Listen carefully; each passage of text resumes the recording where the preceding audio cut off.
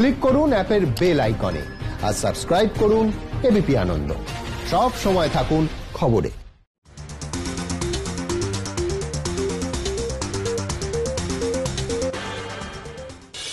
নমস্কার, এবিপি আনন্দে আপনাদের স্বাগত। আমি শিলাদিত্য, শুরু করছি এক ডজন গল্প। রাজ্যে ফের করোনা আক্রান্তের হদিশ। করোনা মোকাবিলায় কি করছে রাজ্য সরকার? এবিপি আনন্দের সিনিয়র ভাইস প্রেসিডেন্ট সুমন দেকে দেওয়ার সাক্ষাৎকারে জানালেন মুখ্যমন্ত্রী মমতা বন্দ্যোপাধ্যায়। দিদি, একটা অত্যন্ত আশঙ্কার জায়গা থেকে আমার প্রথম প্রশ্ন, সেটা হচ্ছে ট্রেন যোগাযোগ। মহারাষ্ট্র আপনি জানেন, কালকে ভিসিতেও আলোচনা হয়েছে, আপনাদের প্রধানমন্ত্রীর সঙ্গে যে ভিসি হয়েছে, তেষট্টি জন আক্রান্ত, মুম্বাই, পুনে, নাগপুর, এই বিভিন্ন জায়গায় গতকাল রাত থেকে একত্রিশে মার্চ অবধি টোটাল লকডাউন করে দেওয়া হয়েছে। এবার সমস্যা হচ্ছে যে প্রচুর মাইগ্রেন্ট ওয়ার্কার্স যারা মূলত অসংগঠিত ক্ষেত্রে, তারা দেশের বিভিন্ন জায়গায় মুম্বাই থেকে চলে আসছেন এবং সেন্ট্রাল রেলওয়ে জানাচ্ছে যে তারা অন্তত পনেরোটা স্পেশাল ট্রেন চালাচ্ছে উত্তর এবং পূর্ব ভারতে। দুটি ট্রেন তো খুব স্পেশালি পশ্চিমবঙ্গের জন্য হাওড়াতে আসছে, পুনে থেকে একটি একটি মুম্বাই থেকে। দিদি, গতকাল এবিপি আনন্দে আমরা দেখেছি যে এই ইন্টারস্টেট ট্রেনগুলি এই রেল যোগাযোগের স্টেশনে কোনো সার্ভিলেন্স নেই। মানে যারা আসছেন, তাদের কোনো রকম স্বাস্থ্য পরীক্ষা হচ্ছে না, ন্যূনতম ব্যবস্থাটাও নেই। এবার আশঙ্কাটা এইটা যে এই দশ হাজার মাইগ্রেন্ট ওয়ার্কার যারা ছড়িয়ে পড়ছেন, এখান থেকে এই করোনার মতো মারাত্মক অসুখ আমাদের রাজ্যেও ছড়িয়ে পড়বে না তো? আমি জানি এটা যুক্তরাষ্ট্রীয় কাঠামো, কিন্তু রাজ্যের কি কিছু করার আছে? আপনি কিছু করতে পারেন? দেখুন প্রবলেমটা হচ্ছে সমস্যাটা আমাদের বাংলাকে নিয়ে নয়। সমস্যাটা হচ্ছে আমার বাইরে। এবং ওরা যে ইচ্ছা করে দেখুন অন্য সময় আমরা একটা স্পেশাল ট্রেন চাইলে দেয় না। আর ডেলিভারি সমস্ত রাজ্য খালি করে সব বাংলায় পাঠিয়ে দিচ্ছে। আমার মাইগ্রেন্ট ওয়ার্কাররা যারা বাংলার ঘর বাড়ি আছে তারা নিশ্চয়ই আসতে পারেন।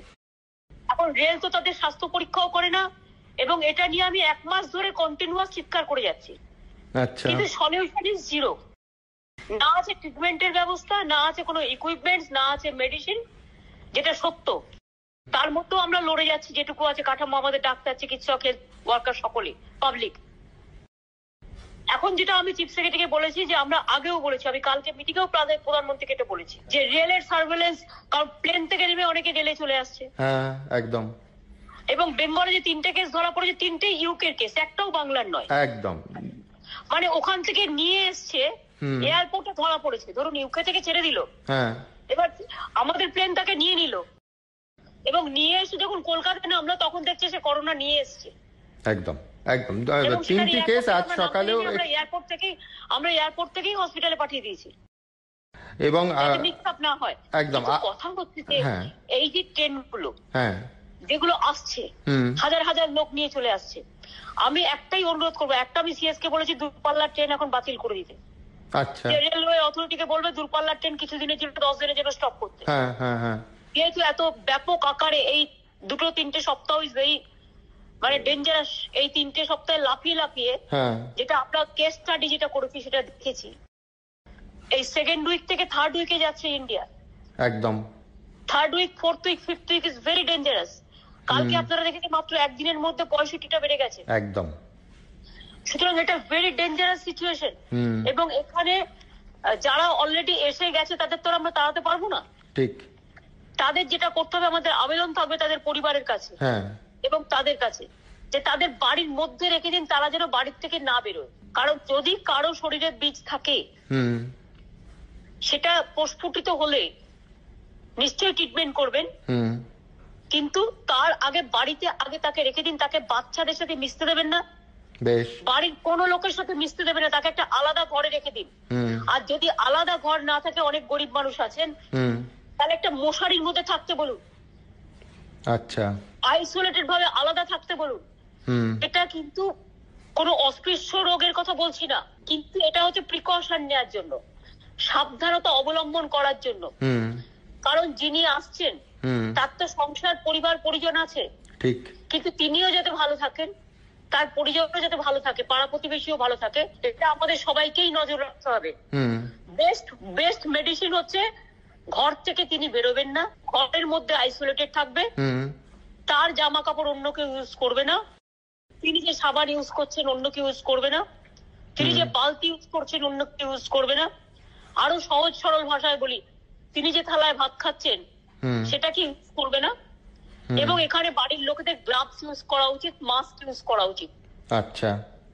আর মাস্ক যদি কারও না থাকে হ্যাঁ আমি এই প্রশ্নেই আসছিলাম যে মাস্ক এবং স্যানিটাইজারের একটা আকাল এবং চাহিদা হঠাৎ বেড়ে যাওয়ায় অনেক দোকানে পাওয়া যাচ্ছে না। কি করবেন সাধারণ মানুষ বিশেষ করে মফস্বল বা গ্রামের মানুষ? না না আমি আপনাদের বলি যেটা আমাদের ফার্স্ট প্রায়োরিটি হচ্ছে হসপিটাল আচ্ছা সেকেন্ড প্রায়োরিটি হচ্ছে আমার কনজারভেন্সি যারা রাস্তাঘাট পরিষ্কার করে। ঠিক। থার্ড কনভার্ট যে আমার প্রায়োরিটি হচ্ছে পুলিশ। আমার ফার্স্ট হসপিটালের ডাক্তার সিস্টার হেলথ কেয়ার যারা আছে ক্লিন করে যারা তাদের আগে দিতে হবে। রান্না করে যারা তার কারণ দেয়ার আওয়ার অ্যাসেট এবং তারা হচ্ছে আমাদের সম্পদ। একদম এবং ফ্রন্ট লাইনে থেকে তারা লড়াইটা করছেন। ন্যাচারালি জীবনের ঝুঁকি নিয়ে করছে। একদম। তারা যেন কোনোভাবে অসুস্থ না হয়। এটা দেখানোর জন্য দেখার জন্য আমি স্বাস্থ্য ভবনকে অলরেডি বলেছি। হ্যাঁ। ইমিডিয়েট আমরা যতটা অর্ডার পাচ্ছি হ্যাঁ। মাস্ক এবং যেটা পাব- যেটা হচ্ছে পিপি পিপি বলি আমরা। হ্যাঁ। প্রোটেকশন যে ড্রেসটা একদম ওই অ্যাপ্রন ধরনের সারা হ্যাঁ। শরীর থেকে রাখে। সারা শরীর হ্যান্ড গ্লাভস হ্যান্ড স্যানিটাইজার হুম। ইমিডিয়েট তাদের সাপ্লাই করবার জন্য। হুম। কিচ্ছু ছিল না গভর্নমেন্ট অফ ইন্ডিয়া আমাদের কিচ্ছু দেয়নি। এই রোগটা তো নতুন। হ্যাঁ। আমরা একটা কাজ করেছি দেখুন এত শর্ট টাইমের মধ্যেও। আমরা আমাদের স্মল স্কেল ইন্ডাস্ট্রি সেক্রেটারি সেক্টরকে দিয়ে হ্যাঁ। আমরা সেভেন্টি পার্সেন্ট অ্যালকোহলিক যুক্ত যে হ্যান্ড স্যানিটাইজার একদম যেটা একমাত্র সেটা আমরা তৈরি করেছি এবং অলরেডি ওরা সাপ্লাই করতে শুরু করেছে। প্রতিদিন ওরা ছ হাজার লিটার করে দিচ্ছে।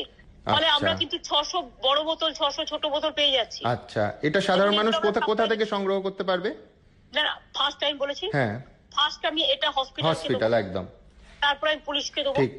তারপর আমি রাস্তাঘাট পরিষ্কার করে তাদের দেবো। তারপর আমি মার্কেটে বের করে দেবো। চার দিনে সবাই পেয়ে যাবে। আমরা বলে দেবো কোথায় কোথায় পাওয়া যাবে। আমার তো মনে হয় যে আমরা মঞ্জুশ্রী তন্তুজা বিশ্ব বাংলা এগুলোতেও আমরা দিয়ে দেবো। যাতে পায় হ্যাঁ। বা অন্যান্য বাইরেও যাতে বিক্রি করতে পারে। হ্যাঁ। এটা একটা হ্যান্ড স্যানিটাইজার পেয়ে যাবে। যতক্ষণ হ্যাঁ। হ্যান্ড স্যানিটাইজার না পাচ্ছে পাবলিককে বলব ঘরে যে সাবান আছে হ্যাঁ। সেই সাবান দিয়ে কোনুই পর্যন্ত ভালো করে হাত ধুন। একদম। যেটা বিশেষজ্ঞরা বলছেন একদম। হ্যাঁ, যে অন্তত কুড়ি বা তিরিশ সেকেন্ড ধরে সাবান দিয়ে হাত ধুন। হ্যাঁ। আগে তো মানুষ সাবান দিয়ে হাত ধুতো। অনেক সময় মাটি দিয়ে হাত ধুতো। মনে রাখতে হবে সাবানটা ইউজ করুন যদি হ্যান্ড স্যানিটাইজার না থাকে। আমি নিজে যেমন দিনে হ্যাঁ। আমি তিনবার সাবান দিয়ে হাত ধুচ্ছি। আচ্ছা। কারণ আমাকে তো ম্যাক্সিমাম মিষ্টি হচ্ছে সাথে হ্যাঁ, যেটা হ্যাঁ। উচিত নয় একেবারে। কিন্তু আমি ঘরে ঢুকে গেলে কাজটা কে করবে? কাজে আমাকে আহ, জীবনের ঝুঁকি নিয়েও করতে হচ্ছে এবং আমি করব। কারণ মানুষ বাঁচলে আমার লাভ। আমার নিজের বাঁচার জন্য আমার একটু ইন্টারেস্ট নেই। আমি আপনাদের আবার বলি। যে হাতটা সাবান দিয়ে তিনবার করে ধুচ্ছি। দুবার আমি হ্যান্ড স্যানিটাইজার করছি। সুতরাং আর যারা যারা ধরুন কোথাও যাচ্ছেনও বাসে বসছেন হ্যাঁ। দরকার একটু দাঁড়ান। নিজেরাই নিজেরা দু মিনিটার পর পর দাঁড়ান। নিয়ারেস্ট আসতে দেবেন না যাতে নিঃশ্বাসটা একজনের থেকে আরেকজনের কাছে না যায়। এখন ওয়ার্ল্ড হেলথ অর্গানাইজেশন বলছে সরি আপনার একটু বেশি টাইম আমি না, না, না, নিশ্চয়ই। আমি আবার বলি আপনাদের যে এইটার একমাত্র ওষুধ হচ্ছে প্রিভেনশন সাবধানতা অবলম্বন। একদম। এটা করতেই হবে। কাঁচা খাবার খাবেন না দয়া করে এখন কিছুদিন। ভালো করে সেদ্ধ করে খান। নিম পাতা খান। আগে আমাদের চিকেন পক্স হলে আমাদের বাড়িতে আমি দেখেছি ছোটবেলায় মা নিম বেগুন ভাজা করতো। নিম পাতা টাতা গুলো খান উচ্ছে টুচ্ছে গুলো ভালো করে খান।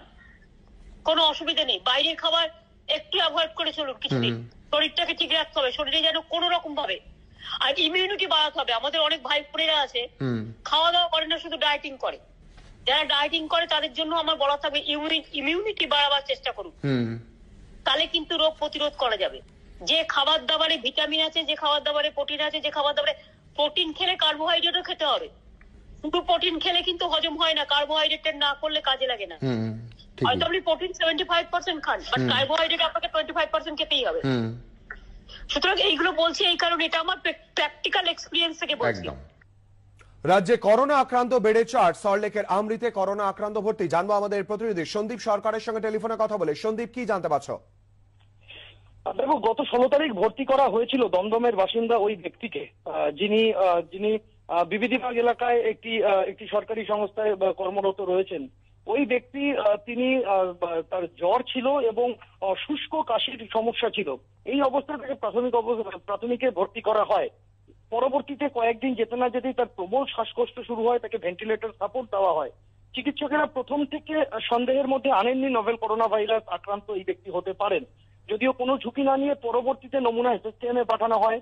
এসএসকেএম এর রিপোর্ট পজিটিভ আসে, কিন্তু যেহেতু নাইসের এই বিষয়ে সব থেকে অথেন্টিক রিপোর্ট দেওয়ার দেওয়ার সুনাম রয়েছে যে সেই কারণে দ্বিতীয় দফায় কিন্তু নাইসেটের নমুনা পাঠানো হয়েছিল।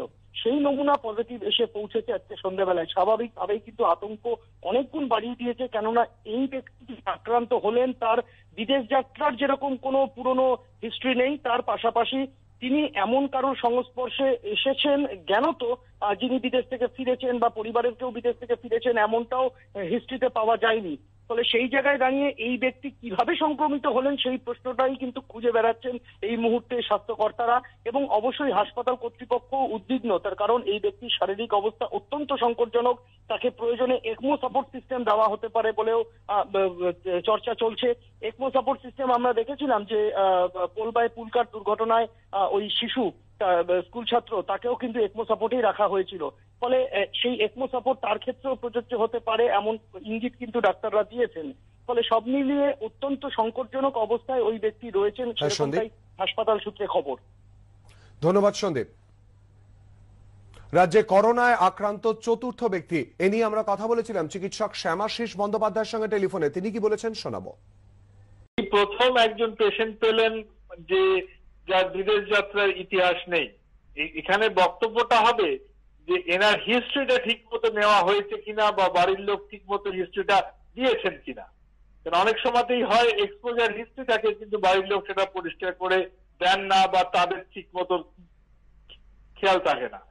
সুতরাং সেইটা একটু দেখার দরকার বাট আদারওয়াইজ এটা যথেষ্ট চিন্তার ব্যাপার ইনসিডেন্টালি বলি এই ধরনের ব্যাপার কিন্তু বোম্বে এবং দিল্লিতেও হয়েছে করোনা মোকাবিলায় কিভাবে থাকবেন সতর্ক সচেতনতার বার্তা প্রিয়াঙ্কা চোপড়ার डब्ल्यूएचओ ने हाथ धोने का एक तरीका बताया है जिससे हम कोरोना वायरस से बच सकते हैं इस तरह से हाथ मलिए देखिए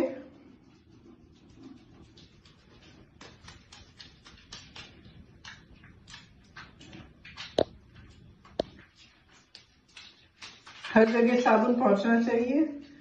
इस तरह से?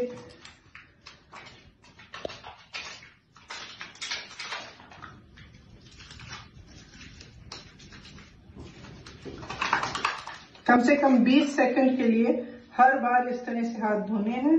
ये बहुत ज़रूरी है और दिन में जितनी बार आप इस तरह से हाथ धो सकते हैं, उतना अच्छा है।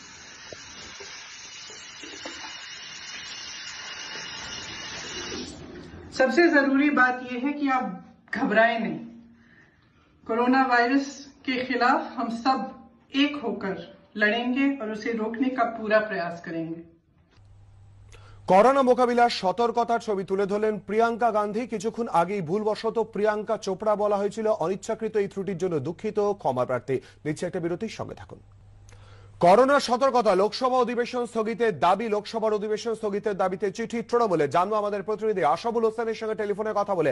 আশাবুল, কি খবর রয়েছে? দেখো শিলাদিত্য, যে করোনা পরিস্থিতিতেও লোকসভার অধিবেশন চলছে। জানিয়ে ইতিমধ্যেই মৌখিকভাবে বিরোধী দলগুলো আপত্তির কথা জানিয়েছে। এবার তৃণমূলের পক্ষ থেকে চিঠি লিখে লোকসভার অধ্যক্ষকে জানানো হলো যাতে সাময়িকভাবে লোকসভার অধিবেশন স্থগিত রাখা হয়। এই করোনা পরিস্থিতিতে। মমতা বন্দ্যোপাধ্যায়ের নির্দেশেই লোকসভায় তৃণমূলের দলনেতা সুদীপ বন্দ্যোপাধ্যায় চিঠি লিখেছেন অধ্যক্ষকে এবং চিঠিতে তার আবেদন বা তার দাবি যে করোনা পরিস্থিতিতে যেখানে দূরত্ব বজায় রাখার কথা বলা হচ্ছে এবং যেখানে একসঙ্গে জড়ো হওয়ার কথা নিষেধ করা হচ্ছে প্রধানমন্ত্রীও তিনি বলছেন তার ভাষণের মধ্য দিয়ে। সেক্ষেত্রে লোকসভায় যা পরিস্থিতি তাদের দূরত্ব বজায় রাখা সম্ভব হচ্ছে না। এবং লোকসভার অধিবেশন যেহেতু চলছে সাংসদ সংসদের প্রচুর কর্মী তারা সমস্ত একসঙ্গে আসছেন।